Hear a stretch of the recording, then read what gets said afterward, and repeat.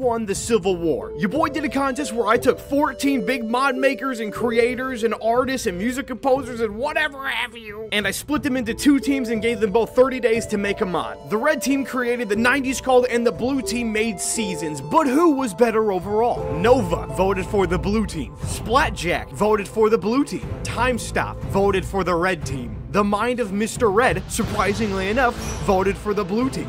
Man, main man himself, voted for the red team. Ace voted for the red team, which leaves your boy as the tiebreaker. The winner of the Incredibox Civil War goes to Seasons made by the blue team. So congratulations, Seasons, you dumb-dumb!